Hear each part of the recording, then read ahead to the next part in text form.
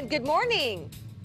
You know you can trust a good barber when they have a mustache like Court. It is called the Pigpen Oh, wow. Barbershop. They just That's opened amazing. on March 2nd, right? And that does take a lot of work to be able to maintain that. So he is cutting Michael's hair right now. And actually, Michael, you may um, remember because his daughter was on for Kaylani's Corner where, or Kaylani's Cuddles, where she donated all that stuff for Valentine's Day for the kids. Um, in the hospital, yes, so sweet. And so, Court, you just recently opened up. What makes you different?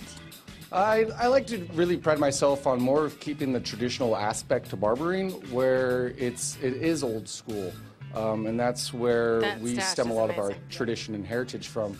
Um, especially with our product company that I always use as my best, that I also educate for, is Reuzel, and uh, they just teach it to be very old school with having its own way of tins, the old smells, the, the ability to do freehand haircuts where you don't use any guards for clippers and you're just using a comb and a clipper. Now, Michael has places to go, so I'm going to let you keep doing the haircut here. A lot of times when people go in for a haircut, they'll come in and say, hey, I want like a two on the bottom or a one on the top, but you don't do that. No, I don't. I actually had encouraged my clients to use photos or uh, use uh, haircut posters because the, the basicness to it is that everybody's every men's haircut's the exact same. It just ranges in length on the side and how high or low the fade is. It's the same haircut.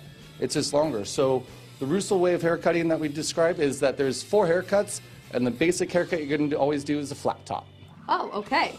And, uh, and I remember my brother getting that when he was younger, at the flat top. You were in the Marine Corps for eight years. Thank you for your service. And we love talking about veteran owned businesses. And so uh, you just recently opened, but people can uh, make an appointment with you. Do you do walk ins or it's mainly appointment only? I am appointment based uh, for the fact that I'm here in the W Salon Suites, um, but I prefer appointments more than uh, a walk in for the aspect that when they come in, this is my VIP for the day or for the hour that they're in here. Where they'll walk in, you have to kind of brush them in and out as fast as you can go.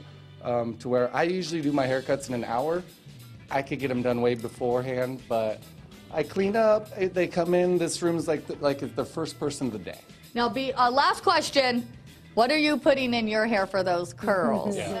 I use grease. Uh, the old school days of Trace Flurries and Murray's. Uh, we actually have grease as well.